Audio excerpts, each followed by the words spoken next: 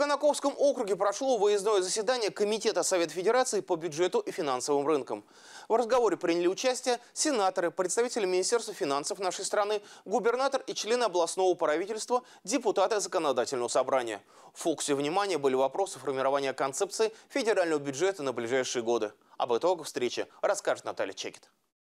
Выездное заседание открыл председатель Комитета Совета Федерации по бюджету и финансовым рынкам Анатолий Артамонов. Он отметил, что для проведения мероприятия Тверская область выбрана не случайно. Конечно, нам э, очень интересно услышать позицию регионов, как, каким образом это будет сказываться на благополучии регионов, на э, том, как будут формироваться их бюджеты региональные, муниципальные – и с тем, чтобы ничего не пропустить и учесть это э, при формировании бюджета.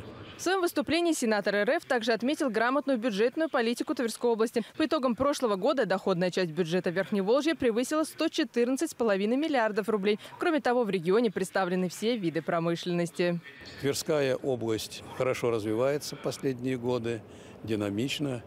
Э, работает экономика хорошо, промышленность, аграрный сектор – много решается вопросов э, в сфере э, дорожного хозяйства, в социальной сфере.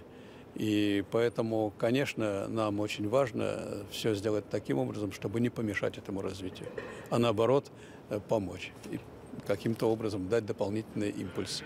В концепции федерального бюджета отражены меры, которые направлены на достижение приоритетов национального развития, а также предложения по решению отдельных наиболее актуальных задач. В частности, речь шла об изменениях в налоговый кодекс. В этой связи будут внесены поправки и в бюджетный кодекс. Также говорили о необходимости укрепления доходной базы региональных и местных бюджетов. В свою очередь, губернатор Тверской области Игорь Руденя назвал одним из приоритетов для региона строительство инфраструктурных объектов. Очень важно, что очень конструктивный разговор, и нас услышали в части дорожного строительства, в инфраструктурных проектах, а, по выполнению поручений президента о бюджетной политике, о э, э, структуризации э, бюджетных кредитов.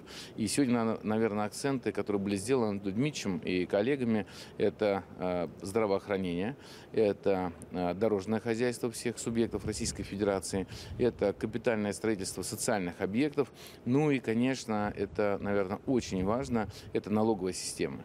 Предложениями, прозвучавшими на выездном заседании, в том числе поступившими от регионов, будет дополнен проект постановления Совета Федерации по формированию концепции федерального бюджета на ближайший трехлетний период.